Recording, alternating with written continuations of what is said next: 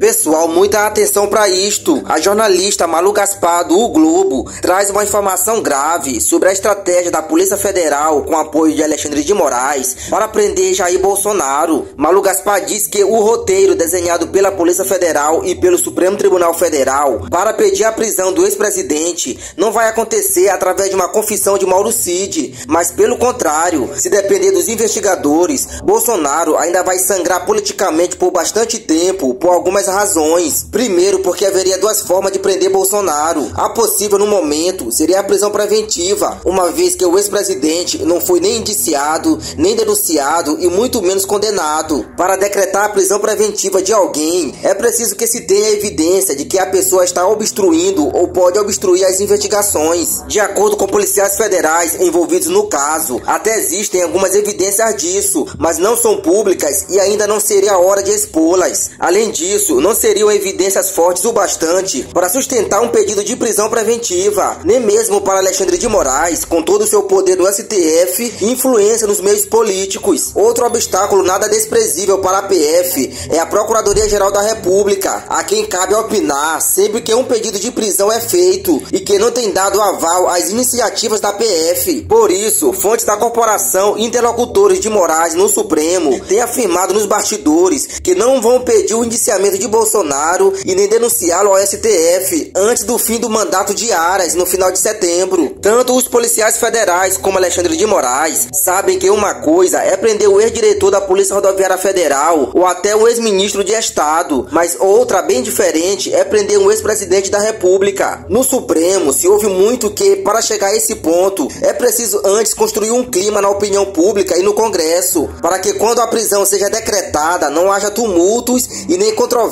entre os líderes das principais instituições de Brasília. Então, mas se depender do empenho da PF e de Alexandre de Moraes, não vai demorar tanto assim. A expectativa desse núcleo investigativo é ter o processo concluído nos primeiros meses de 2024. Então, pessoal, a estratégia da PF é deixar Bolsonaro sangrar antes de pedir prisão a Alexandre de Moraes.